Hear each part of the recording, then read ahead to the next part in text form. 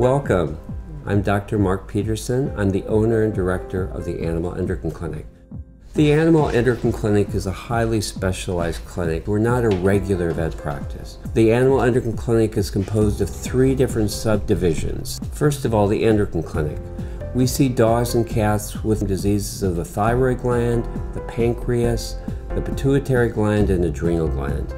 We also see diabetes, Cushing's disease, Addison's disease of dogs, and then hyper and hypocalcemia in both dogs and cats. Our second division, what we call Hypurrcat, this is really a treatment center for cats suffering from hyperthyroidism. Very common problem with cats caused by a thyroid tumor.